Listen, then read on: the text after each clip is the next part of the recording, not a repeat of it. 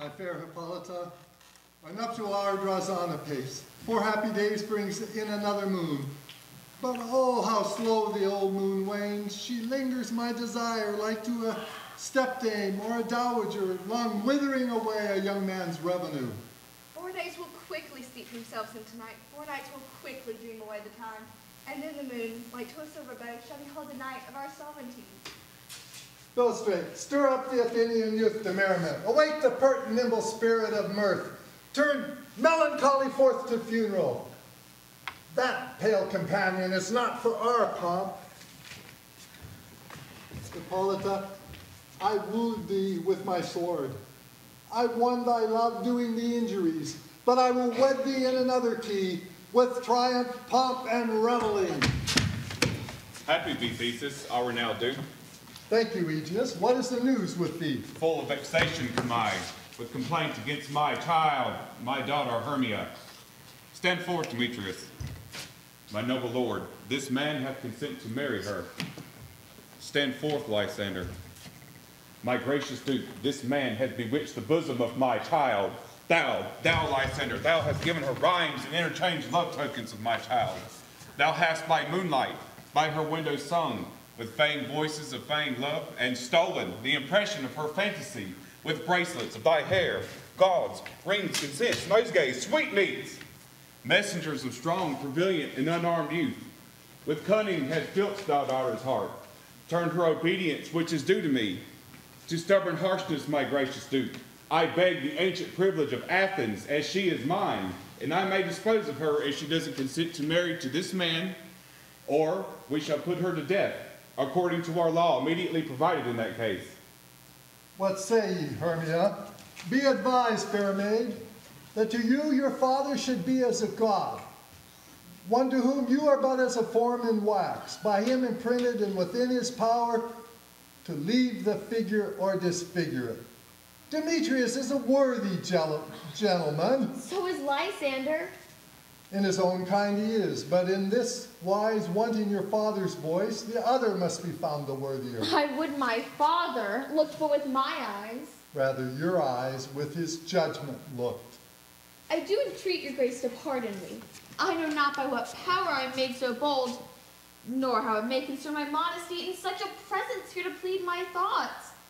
But I beseech your grace that I may know the worst that may befall me in this case, if I refuse to wed Demetrius. To die, the death, or forever to abjure the society of men.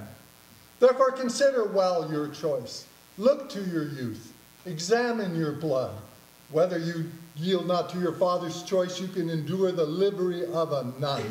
For I to be in shady cloister mewed, forever the barren sisterhood, chanting faint hymns at a cold, fruitless moon. For such are those that bear the maiden pilgrimage.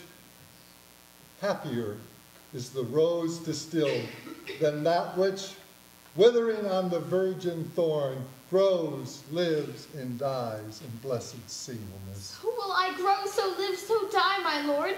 Here I will yield my virgin patent up unto his lordship, whose unwished yoke my soul consents not to give sovereignty.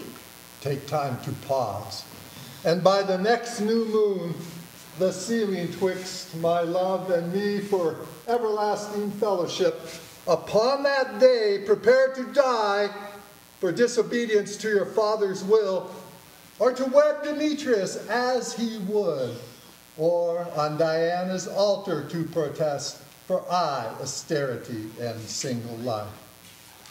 Relent, sweet Hermia. Uh, Lysander, yield thy Crace title to my certain rights. You have her father's love, Demetrius. Let me have Hermia's. Do you marry him? Scornful Lysander, true he hath my love, and what is mine my love shall render him, as she is mine. All my right of her I do estate unto Demetrius. I am, my lord, as well derived as he, as well possessed.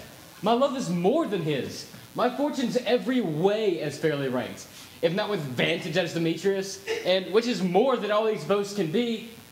I am beloved of beauteous Hermia. Why should not I then prosecute my right? Demetrius, I'll avouch it to his head, made love to Nedar's daughter, Helena, and won her soul. And she, sweet lady, dotes, devoutly dotes, dotes in idolatry upon this spotted and inconstant man. I have heard so much, and I thought I had with Demetrius spoke thereof.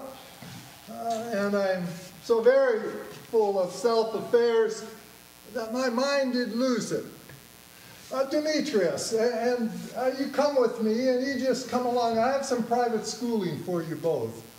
And Hermia, fit your fancies to your father's will, or else the law of Athens will yield you up, a law we may not extenuate to death or single life. Hippolyta, what cheer, my love? With duty and desire, we follow you, sir.